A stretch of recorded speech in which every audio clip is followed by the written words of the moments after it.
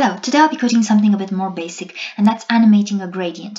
Now this is a bit more complex because it only works out of the box in Edge, but there are tricks to make gradients appear animated in other browsers as well, such as background position or background size animation, or even using a pseudo element on top and animating its opacity or transform and stuff like that. But this is not going to be about any of those tricks. This is going to be about animating gradients in a really cool way with custom properties. So let's get started. Uh, we just uh, use the HTML element, um, just make it um, full height now give it a background, um, linear gradient, um, and here we use an angle. And um, first off, we have a first color, uh, a first position, and then a second color. And uh, we want a sharp transition between uh, colors. Now let's um, register these custom properties. So CSS uh, register property. And let's get started here. So uh, name as mentioned above. Syntax. This is color in this case. Um, initial. Um, let's say it's going to be dim gray think this works. Okay, now just uh, copy paste this. Okay, this is going to be the second color. Uh, let's say it's Dodger blue. Okay. Now uh, this is the angle. Angle, and let's say it's 45 degrees. Um, now this is the position. This is uh, length percentage. And this means it can be either or a mix of them inside a calc function. Uh, let's say it's 25% initially. It doesn't really matter. Now we're starting to see something. Now let's add some keyframe animations. So first off um, keyframe uh, and let's say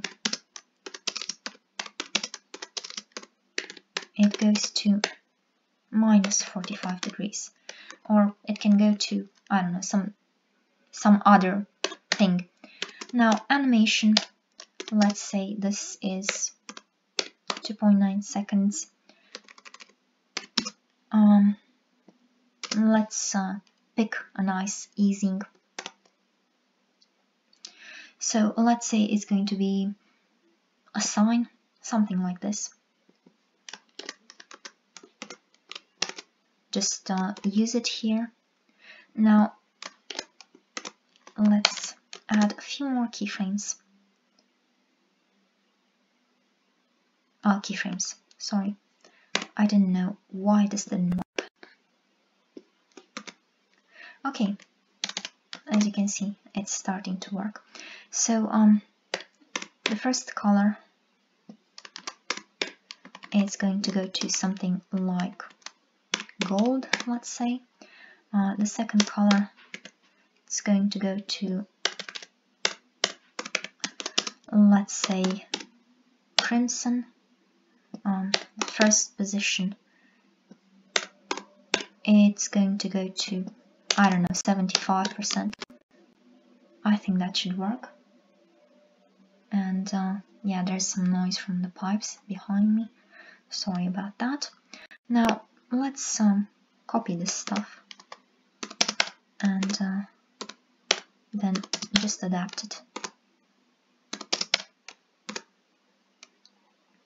Okay so um first off we have the first uh, color. Let's do something like this. Um, and let's say um, it's going to be something like an ease in out. I think that should work. Um, this is going to be the second uh, color. Um, and let's make this a different easing. Let's say easing out back think this is good. Okay let's go back here and change the easing. Okay um, and let's make this the position. Um, let's make something a bit more extreme here so um, yeah. Now what we need to do is animation iteration count infinite and also animation direction. Let's make it alternate. And this gives us something a lot more interesting. And as you can see all these custom properties are animated independently of uh, one another which is really cool because it's something we can't achieve in Edge and uh, what we're doing uh, here would be really really complicated to emulate with uh, background position background size and uh, pseudo elements and stuff like that but this way it's really easy so yeah, this is what I wanted to show you for today. I hope you've enjoyed this video and if you have and you want me to be able to put out more stuff in the future and not end up dying in a trash can, please consider supporting my work. You can do it in one of the ways explained in the description below with a donation. There's a donation link there. Or you can get me something off my Amazon wishlist. There are two links there as well which would make this kitty very happy, or you can at least share this to show the world what can be done with CSS these days, because honestly, I think it's pretty damn cool. In any event, thanks for watching.